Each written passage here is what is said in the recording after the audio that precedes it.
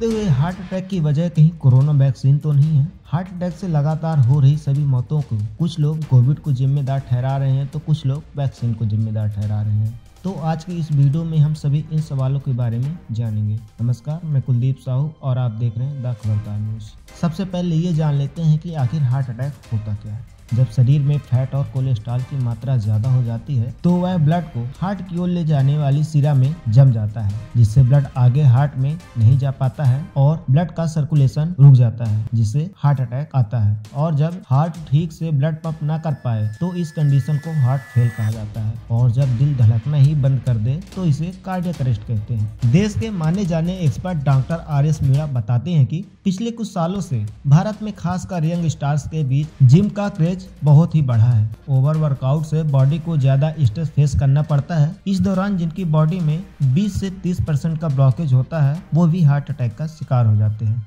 बिना मेडिकल सलाह के प्रोटीन सप्लीमेंट्स लेने से भी हार्ट कमज़ोर होता है। तो वहीं public health expert doctor Chandrakant Lahariya बताते हैं कि कोविड में यंग स्टार्ट फिजिकली कम एक्टिव थे।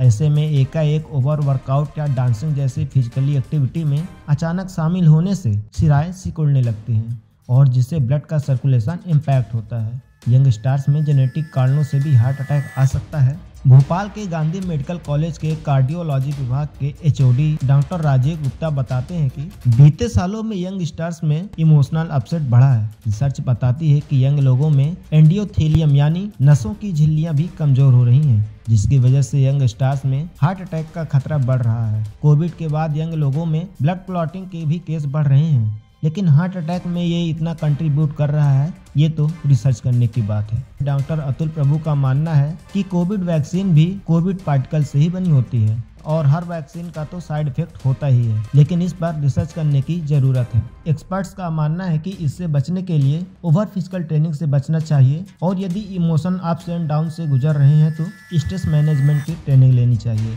स्मोकिंग छोड़ दे। ड्रंक एंड डांस का क्रेज तो बिल्कुल ही ना अपनाएँ। और जो पहले से ही हार्ट रोग से ग्रसित हो चुके हैं, उन्हें अपने हार्ट की जाँच समय समय पर करवानी चाहिए। ऐसी ही रोचक खबरों से जुड़े रहने के लिए हमारे चैनल को सब्सक्राइब करें शेयर करें। बने रहें दा खबरदार न्यूज़ के साथ। धन्यवाद।